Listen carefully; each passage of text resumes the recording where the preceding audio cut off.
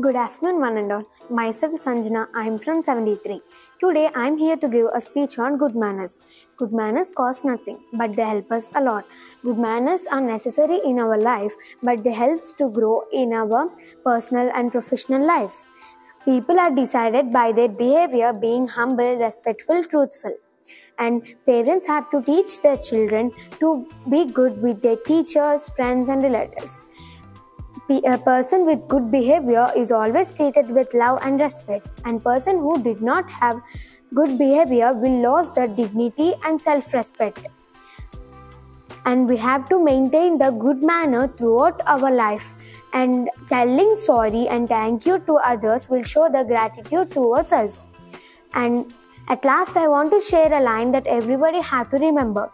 Good manners opens doors that the best education cannot. Thank you all for giving me this opportunity. Thank you.